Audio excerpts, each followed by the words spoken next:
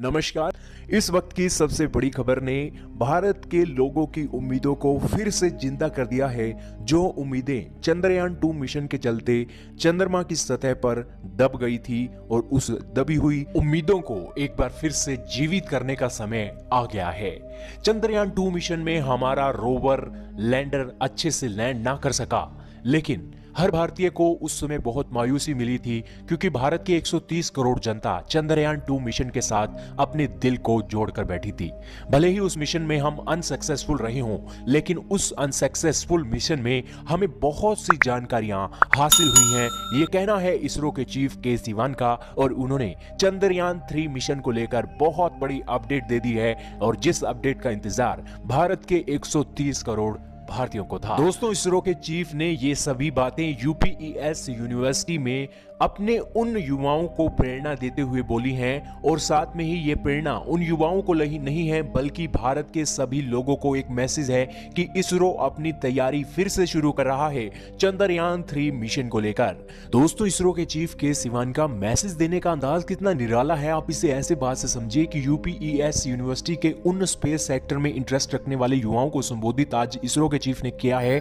साथ में ही, भारत के 130 करोड़ लोगों को भी उन युवाओं के ज़रिए आज मैसेज भेज दिया है। इसरो के चीफ के सिवान ने 130 करोड़ भारतीयों को यह संदेश दिया है कि चंद्रयान थ्री मिशन फिर से शुरू होने वाला है और हम अपने आखिरी स्टेजेस पर पहुँचने वाले हैं और अगले साल के मध्य तक 2022 के मध्य तक आपको चंद्रयान थ्री मिशन एक बार फिर से सफ़र करता हुआ दिखाई देने वाला है। दोस्तों, इसरो के चीफ ने आज अपने युवाओं पर भी बहुत फोकस किया है। इस यूनिवर्सिटी में युवाओं को एक अपना अभिभाषण देते हुए उन्होंने कहा है कि स्पेस के सेक्टर में युवाओं के लिए अपॉर्चुनिटी बहुत छिपी हुई है और आज भारत के युवाओं को नासा जैसी स्पेस एजेंसी में काम करने की कोई ज़रूरत नहीं है। आज अपनी वो प्रतिभा इसरो के अंदर दिखाए और उसे, जो उसकी प्रतिभा है, उसके अनुसार उसे अवार्ड भी मिलेगा। आज इसरो की खुद की कमाई है। दुनिया भर की 300 से भी ज़्यादा सैटेलाइटें इसरो ने भेज दी हैं और भारत का युवा अपनी प्रतिभा प्रतिभा इसरो में भी दिखा सकता है। जो सामान वो डिजर्व करता है, भारत के 130 करोड़ भारतीय उसे साइंटिस्ट को देने वाले हैं। दोस्तों, इसरो और 130 करोड़ भारतवासी एक दूसरे से जुड़े हुए हैं। इसरो की धड़कन आज 130 करोड़ भारतवासियों के दिल में धड़कती है। इसरो को अगर पैसा कम मिलता है तो भारतवासी कहते हैं कि हमारे से पैसा ले लीजिए एक्स्ट्रा पैसा ले लीजिए एक्स्ट्रा टैक्स काट लीजिए, इसरो के नाम का, लेकिन इसरो के पास पैसों की कमी नहीं होनी चाहिए।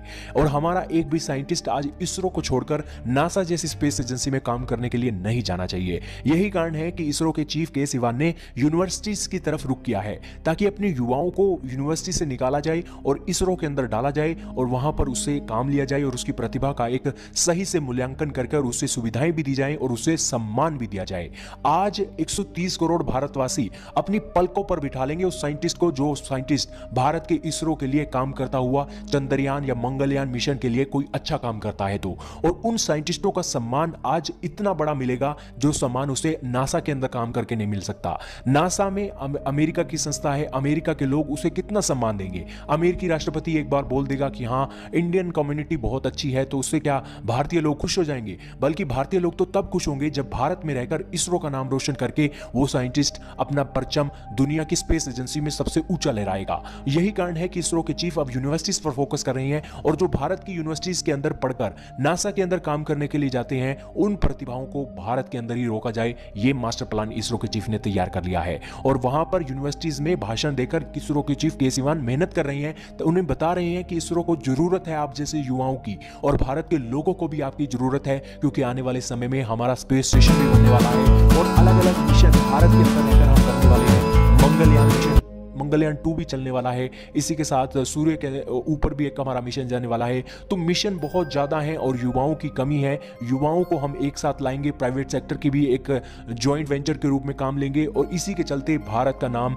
नासा के बराबर तो हम करके ही छोड़ेंगे आने वाले 20 से 30 सालों के अंदर। क्या कहना चाहेंगे? कमेंट सेक्शन में राय का जार कीजिए।